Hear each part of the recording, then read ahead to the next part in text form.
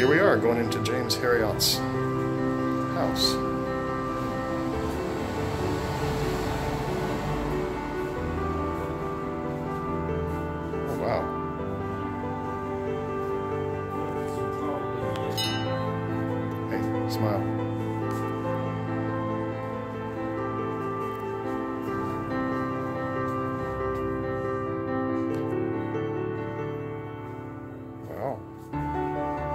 It's a cool old house. I like the decoration style. I, I would decorate my my house is kind of decorated like this actually. What? This is true. I like the wooden floors. Yeah, nice. that shit. Oh yes, indeed.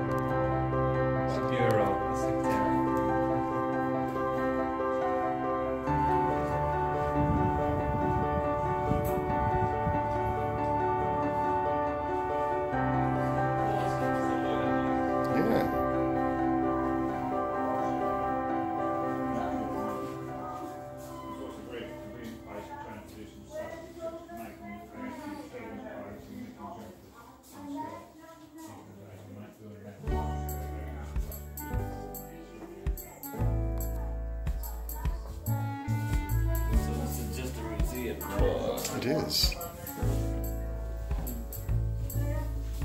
Oh, wow.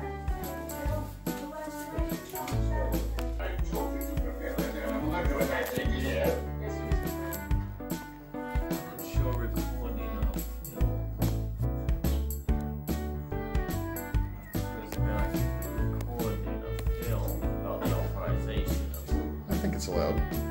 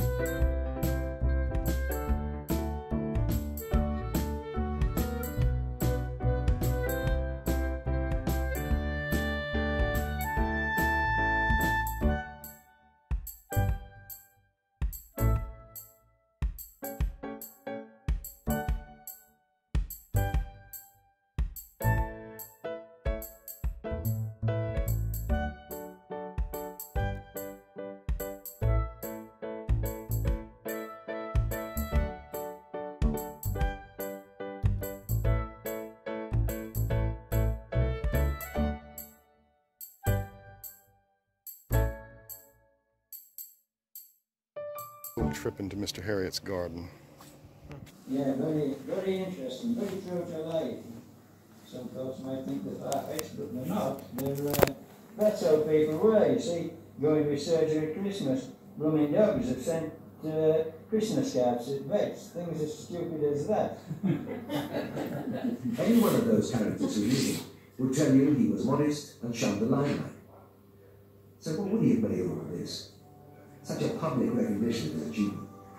he regarded the local people as not making a great fuss of him, but they've shown that they did respect him and they, they did know about him. Um, and there's no doubt about it, he would have been he would have been really pleased, he would have been tickled pink to think that there was this And turnover, speed, 17 take 4. And action!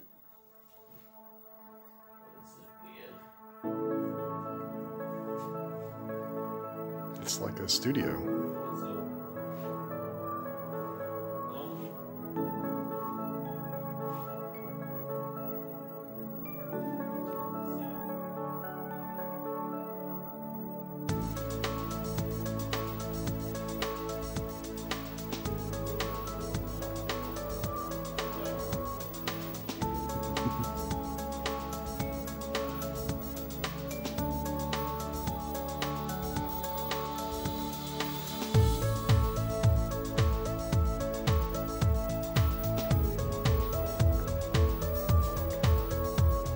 Probably don't touch the controls.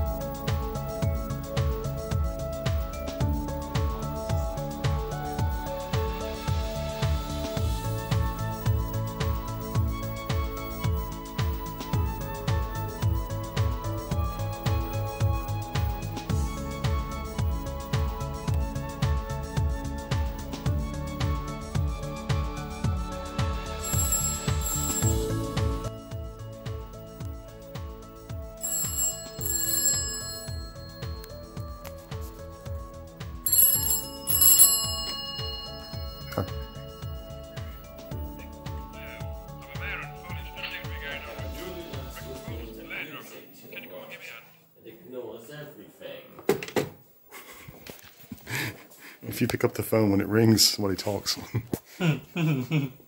Oh, Someone in the audience went and picked it up. And Derren Brown was on the other end saying, Oh, well done, you've actually come and answered the bloody phone. Hmm. There's a cat in the wall. I see that.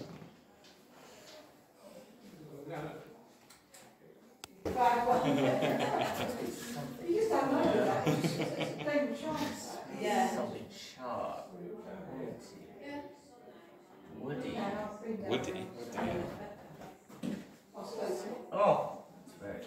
I don't know what it is, but it's very sharp. Okay. Wait, there's something down here.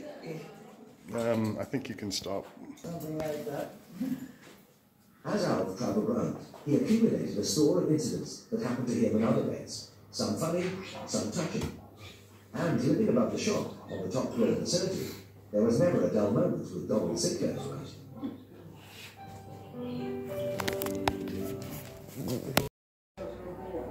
Watching how he did. But he never put himself forward or got in the way of filming other things.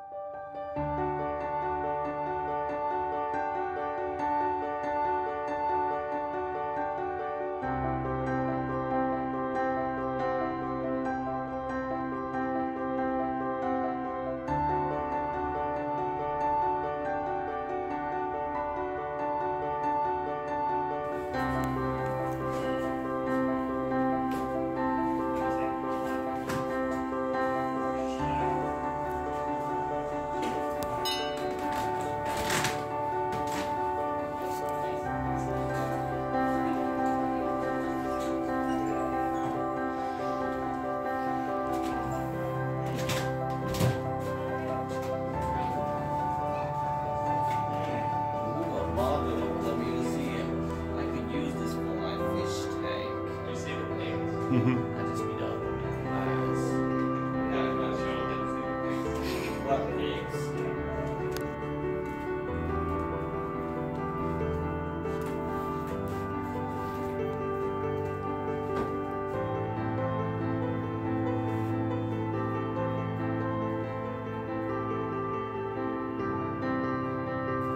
for anyone who's watched this show, I think a lot of this will be very familiar.